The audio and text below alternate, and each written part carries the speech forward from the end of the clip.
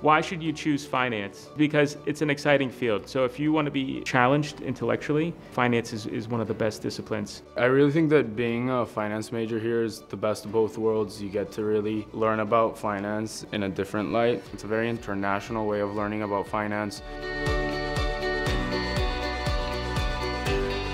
The opportunities that are around in DC, they're really sort of unparalleled in my mind in other business schools. You have a lot of professors which have econ backgrounds, so then you get also that perspective Finance in particular is such a niche and between the alumni and the programs that we have set up, the resources that professors make available, um, both online, offline, in person. Having an, either an undergraduate degree in finance or an MBA with a concentration in finance as an example, there's still many different disciplines that you can take into the market and we try to give them exposure to those disciplines. You can go anywhere with this concentration um, and the professors will really help you along the way and they'll challenge you and they'll push you. One of the things that's a key point that, that we use for class is that the class manages real money. Having that real world experience right in class where students are directly managing endowment capital, they feel the burden uh, and that pressure uh, when they're managing someone else's capital and being thoughtful about that and being responsible. You're the one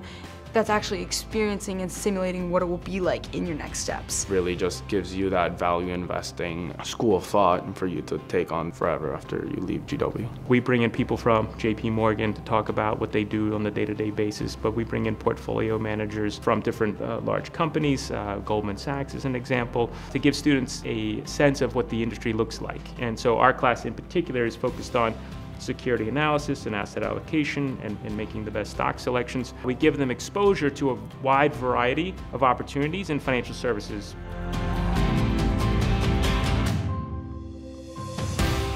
FIC, the Finance and Investments Club, every week there are about 30 to 40 students who get together in a room. We all sit there and talk about markets. We talk about what went on today, what went on this week, um, what's happening in oil, in gold, you know, commodities, companies around the world. It's really empowering and it teaches you to jump on the train with them. Another student org where students can get involved is the Women in Finance. This is a, a great opportunity for women who are interested in finance uh, to connect with their peers and they have built a fabulous network of alumni and mentors uh, to help them prepare uh, for, for, the finance industry. REFA, the Real Estate and Finance Alliance, is an incredible program. It's a condensed program that's run by student mentors for um, a lot of preparation for the early students, and um, it provides a sense of community among REFA mentors and also within the alumni network. It is intense and it's rigorous, but I think it's definitely worth it to take that shot, and in the end, it's much more fulfilling.